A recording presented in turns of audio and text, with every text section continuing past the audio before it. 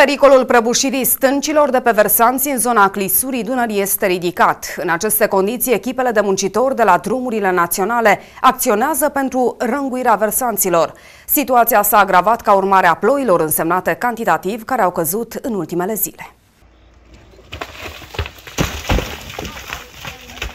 Ploile abundente care s-au abătut asupra Mehedințiului în ultima perioadă afectează și drumurile naționale. Cei de la Direcția de Drumuri și Poduri au intervenit deja pentru siguranța participanților la trafic. De exemplu, în clisura Dunării, ca urmare a precipitațiilor, au avut loc alunecări de stânci pe carosabil. Mai mulți alpiniști au urcat pe versanți pentru rânguirea acestora. Drept urmare, traficul în zonă este parțial blocat. Au început lucrările de siguranță rutieră, de punere în siguranță a versanților prin uh, operațiunile de rânguire.